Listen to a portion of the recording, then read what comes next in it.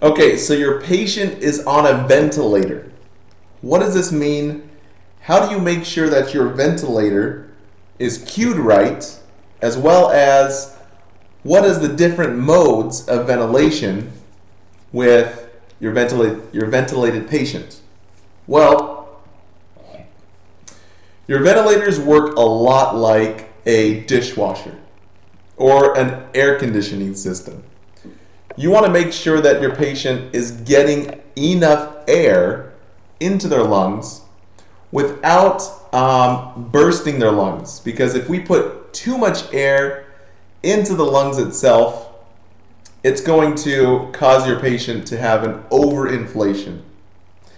Also, with this, you want to make sure your patient is getting enough respirations per minute as well as enough oxygen, what's called our um, FiO2. So let's go into what whoa, what this means here, okay?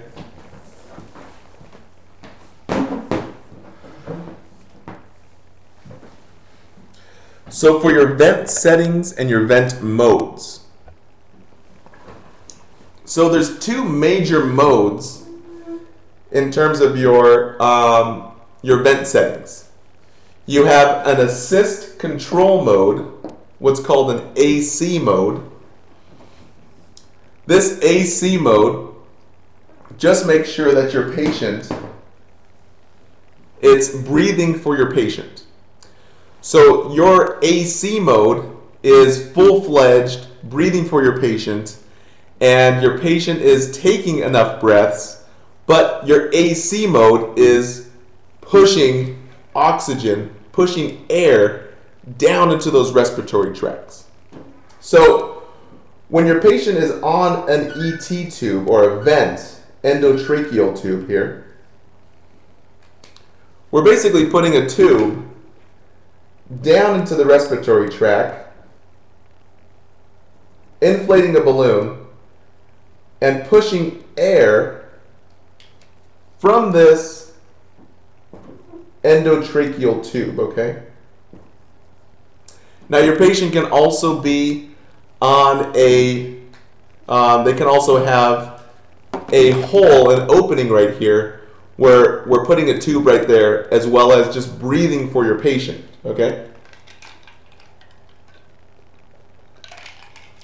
Your patient who has long-term respiratory failure, where let's say your patient is um, brain dead, and they can't breathe for themselves. They're going to be on an assist control mode, which is forcing air down into their lungs, making sure that it's breathing for them. Now, let's say your patient is coming out of anesthesia after an OR, after an operation. We're going to put your patient, start him or her on AC mode, switch them over to what's called SIMV mode, also known as your weaning mode. Just making sure that your patient, we're, we're kind of decreasing um, the vent, and your patient's going to hopefully start breathing by themselves. And this weaning mode is putting the patient in control of the respirations and kind of taking the responsibility of the ventilator itself off the main responsibility of pushing air into the patient's lungs. Does that make sense, hopefully? You also have something called tidal volume, which is a setting on your, on your uh, ventilator. So this tidal volume pushes a certain number of mLs, milliliters, into the patient's respiratory tracts. So, your patient will probably be on between, let's say, 500 to 800 milliliters. Whoa, get a better pen here. Let's say your patient's on 500 to, let's say, 800 milliliters of air down into the respiratory tracts you want to make sure that this tidal volume is set right for your patient's body weight. If you put too much pressure, too much volume down into those lungs, you can burst the lungs, also called a pneumothorax. You can actually burst the patient's lungs if you overinflate them. So the tidal volume is making sure that we're just inflating your patient's lungs just enough, okay? For your respiratory rate, your respiratory rate should be between 16 to 20 respiratory, I'm sorry, breaths per minute. We're filling your patient's lungs up with oxygen, and hopefully that rate is good for your patient. Now, anything between 12 and 20 is adequate, but we want to make sure your patient is breathing enough um, and this rate at which oxygen and air goes down into the lungs will help us to do that. Now your FiO2 is the amount of oxygen that we're putting inside the ventilator itself to pump your patient's lungs up with air. So usual FiO2 is between like 35% to let's say 50%.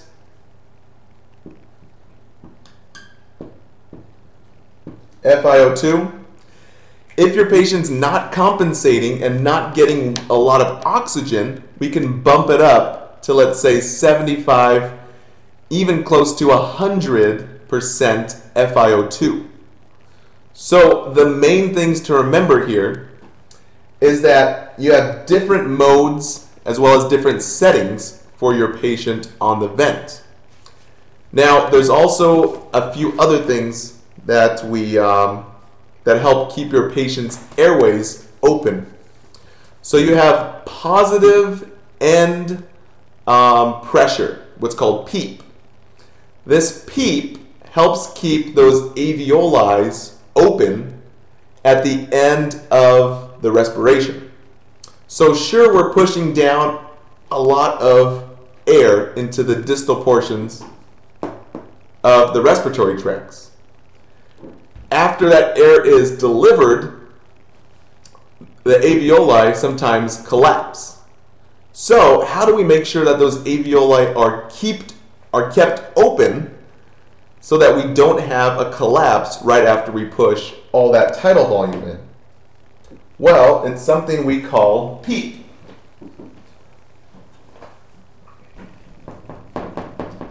And this PEEP is our positive end expiratory pressure, PEEP. It helps keep that alveoli open. So alveoli is kept open at the end of the respiratory, um, basically at the end of the respiratory pressure. So, your patient's alveoli is not going to collapse at the end with this, oh, here it is, with this PEEP. That's to keep the alveoli open. Hopefully, we're hoping to increase the oxygen supply and that oxygen exchange.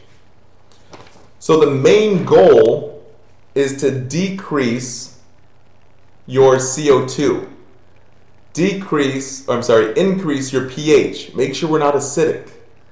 Um, we're trying to get out that carbon dioxide to make sure your patient is not in respiratory acidosis, as well as increase the oxygenation of your pulmonary artery oxygen, your PaO2. We're hoping it's greater than 90%, um, I'm sorry, greater than between 80 and 100%. Anything less than 60 is criteria for acute respiratory distress syndrome.